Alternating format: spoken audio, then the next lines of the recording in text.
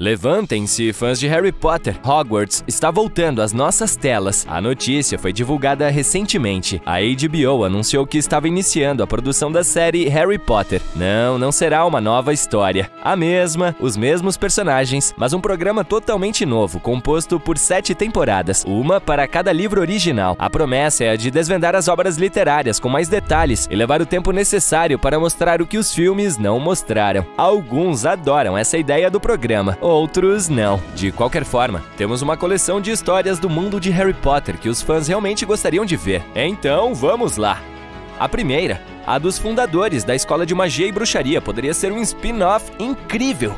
Sabemos que Godric Gryffindor, Helga Hufflepuff, Rowena Ravenclaw e Salazar Slytherin foram os fundadores, mas não sabemos muito mais do que isso. Como? Por quê? Quem eram eles? Como viviam? O que aconteceu? Muitas perguntas, mas nenhuma resposta. Vale a pena assistir.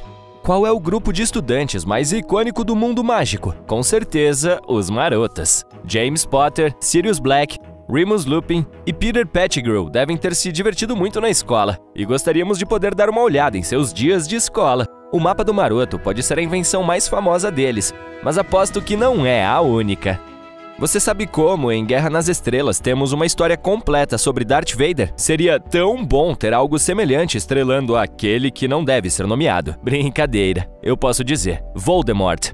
Ou Tom Riddle, para ser mais preciso sua infância e experiências no orfanato, mais os seus dias de escola.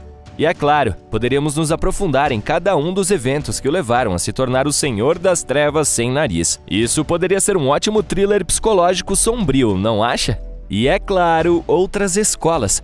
Já ouvimos falar da francesa, da búlgara e o filme Animais Fantásticos nos apresentou a americana. Mas há um mundo muito grande lá fora.